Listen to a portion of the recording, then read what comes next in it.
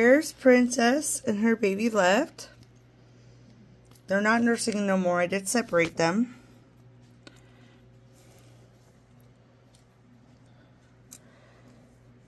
That's the Angora that I'm probably keeping.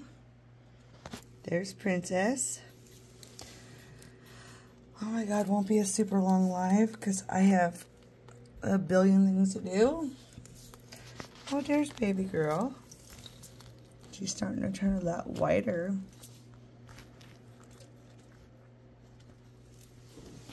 Come on, princess.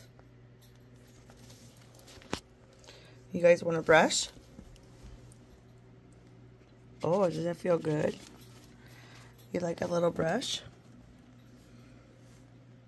Since you're getting so white.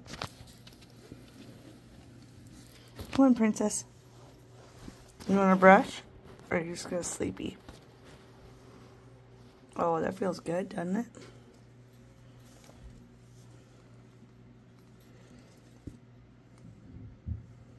That's nice.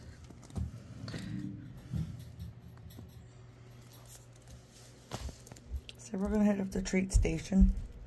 See, treats are yummy.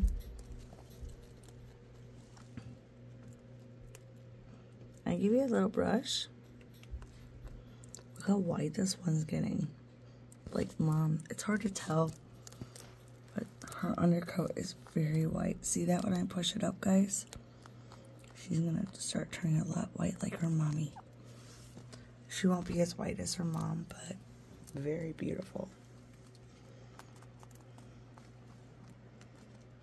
Oh, is that a nice scratch? Oh. What she's saying, Cora, you gotta brush them a lot. Because they got that long hair. And then Princess is an Angora carrier.